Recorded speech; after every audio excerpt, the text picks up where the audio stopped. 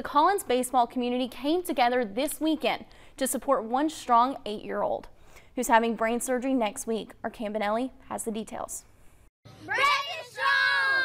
Eight-year-old Collins resident Braden Cooley is undergoing his second brain surgery Tuesday in Jackson. Braden Strong is super strong. He was born premature and was diagnosed with epilepsy and developmental delay. His mother, Contiana Pearson, hopes it will help lessen the seizures. Braden has um, seizures and he's actually started back having them.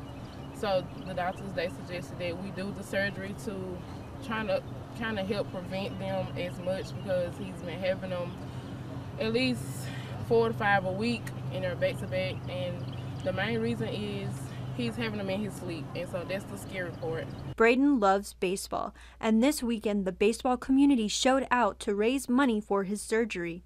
Braden's baseball coach Joshua Rambo came up with the idea for a benefit tournament. This year, it's been a struggle for us. It's been tough.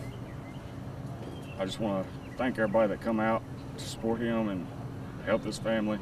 Braden's two brothers, Blaze and Braxton, say they know Braden will be okay in his upcoming surgery. I know for a fact that he's going to be Braden strong. Braden strong. Despite his struggles with health, Braden always stays positive. Braden is a very strong one. Even when he's sick, you would not know if he's sick or not because he's going to always keep a smile on his face.